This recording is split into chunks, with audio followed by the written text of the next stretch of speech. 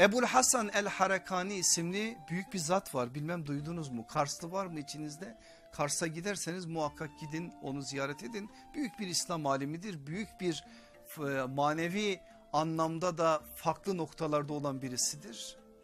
Allah bir hanım vermiş ona. Bir acayip. Müritlerinden birisi bir gün gidiyor eve şeyhi soracak. Kadın açıyor diyor ki Allah senin de şeyhinin de söylüyor söylüyor. Ya diyor benim hoca nasıl biriyle evli diyor. Buna nasıl dayanıyor nasıl böyle sabrediyor.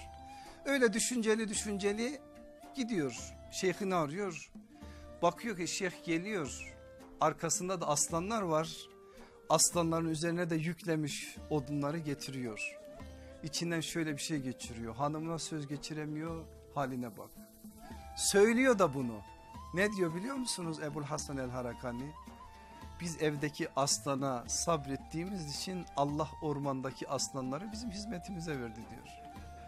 Menkıbedir ama hoştur. Menkıbelerde de asla bakılmaz fasla bakılır.